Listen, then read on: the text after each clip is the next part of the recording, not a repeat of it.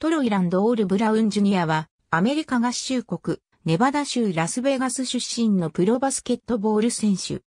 NBA のシカゴブルズに所属している。ポジションはスモールフォワード。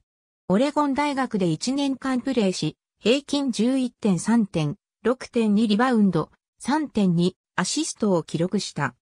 シーズン終了後に2018年の NBA ドラフトにアーリーエントリーした。2018年6月21日、ドラフト1巡目15位でワシントンウィザーズから指名を受け、その後ウィザーズと契約した。1年目のシーズンは52試合に出場した。2021年3月25日のボストンセルティックスを交えた3チーム間トレードによりシカゴブルズに移籍した。両親と姉も大学でバスケットボール選手だった。トロイ・ブラウン、ワシントン・ウィザーズ、ポイントガード、247スポーツ、2020年8月3日、閲覧。オレゴニアン、オリガンライブ、タイソン・アルジェザ、トロイ・ブラウン・ジュニア、リーブス・ダックス・アーリー、デクレアズ・フォー NBA ドラフト。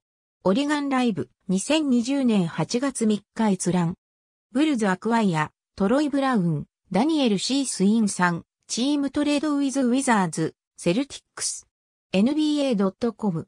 2021年3月28日閲覧。トロイ・ブラウン・ジュニア。www.usab.com。2020年8月3日閲覧。ありがとうございます。